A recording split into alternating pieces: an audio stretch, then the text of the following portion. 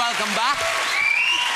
In a moment, Joe McElderry is going to perform his new single, but first, I've got some more questions for Michael. Michael, when you worked Right. in Edinburgh at the Edinburgh Festival, Yes. did you work in that tiny little room in the assembly rooms, the Wildman Suite? Oh, the, uh, mine was smaller than that. Oh, you chose- no, that was a the- wardrobe, that one. No, well, that, this, that, that's all right. That's about 67. I did the uh, the attic in the Pleasance, which is literally an actual... know it. it it's used for storage most of the year.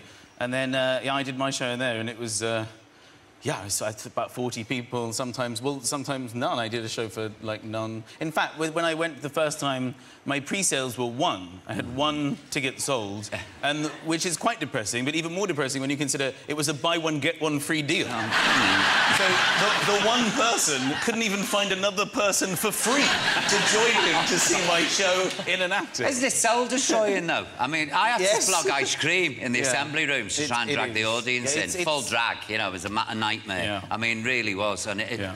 What made you stick at it, you know, when you have tiny little audiences like that? What made you think, oh, I'm going to carry on with this? Well, I, it's what I've always wanted to do, and I thought Yeah. that I could do it. I just didn't know how to do it, so I just kept working it, trying to work it out. Yeah. And, uh, you know, I just kept plugging away. I mean, I Yeah. thought I, th- I, th- I thought I could do it. Sometimes people would, every once in a while, I'd have a really good experience, and everybody would laugh very hard. And And, it was just if I could just repeat that, but I couldn't. Yeah. But then it would come again. So it just I kept flirting Yeah, with yeah. success, and then finally I sort of cracked it. But the Royal Variety was your big break, wasn't it? And they're the worst Yeah. audiences Yeah. under the Well, that's where I end the book. I end the book on sort of my break, having you know all the struggles and everything, and then yes, um, the Royal Variety was my big break. I've never been particular. I I like the royal family, but I'm not like a massive royalist. Yeah. But boy, when that gig went well, I didn't half belt out the national anthem at the end. Oh, I bet you Thinking about my career. God save our great. Look at me, massive. No, I was a, was wonderful night. And it was a Charlie, Prince Charles, that night. It, It was Prince wasn't Charles, it? who Yeah. I've always liked Prince Charles. Yeah. Ever since I saw him on the TV. I don't even know why he said it, but I was a kid. And because he's, he's royal, he has to be posher than everybody else.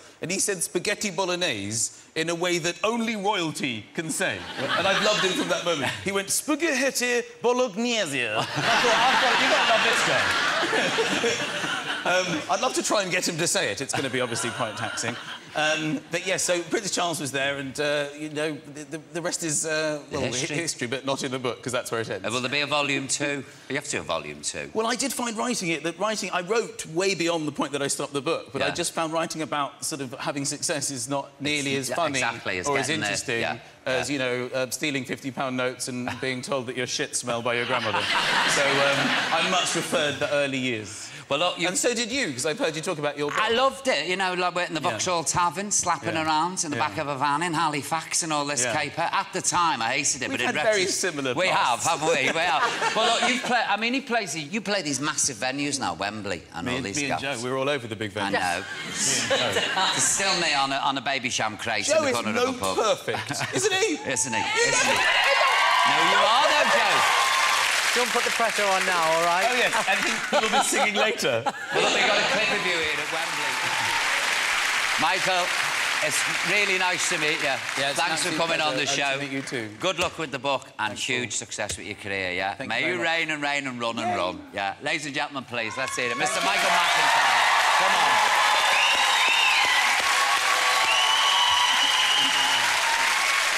Okay. It's time now for a young man with a beautiful voice. As you said, he's note perfect, isn't he? He really is. Millions goes... Ladies and gentlemen, let's hear it. Come on, for Joe McElderry.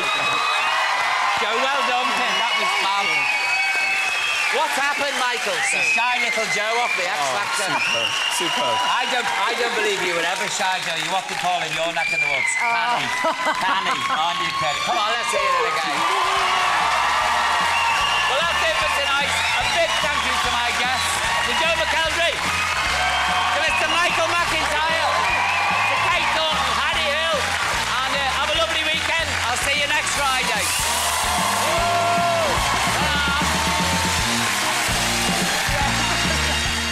Classical singer Russell Watson is the subject of Piers Morgan's Life Stories tomorrow at 10.